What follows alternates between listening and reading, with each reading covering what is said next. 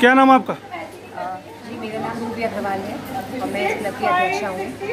हम लोग यहाँ पर आज अपने क्लब का तीज का सेलिब्रेशन करने के लिए इकट्ठे हुए हैं सब लोग। और यहाँ पर हम लोग अलग अलग तरीके के गेम्स करेंगे। अभी हम लोगों का हाउसी का प्रोग्राम चल रहा है और इसमें तीज क्वीन का भी हमारा सिलेक्शन होगा। तीज क्वीन को भी हम लोग चुनेंगे।